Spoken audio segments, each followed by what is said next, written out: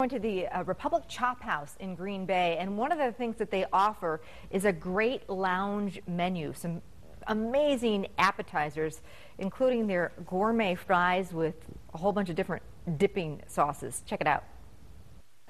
Hey Amy, sometimes you're not in the mood for a full dinner. We have a great lounge menu that we offer here at Republic Chop House. If you want to come with your girlfriends to hang out or your husband or whomever it may be, we have great choices for you. We have a nice bar, have a glass of wine, some beer, maybe a, one of our signature martinis made by Mark. But we also have these great snacks that you can have. We have a nice lounge menu. And on that lounge menu, for one instance, we have the crab cake burger, which is a certified Angus beef burger patty topped with a jumbo crab cake, some avocado aioli, served with our steak fries, which every fry, every steak here at Republic Chop House is seasoned with my own personal signature seasoning. Looks like our fries are done, so I'm going to pull that out of the fryer, let them drain a little, toss them into a bowl,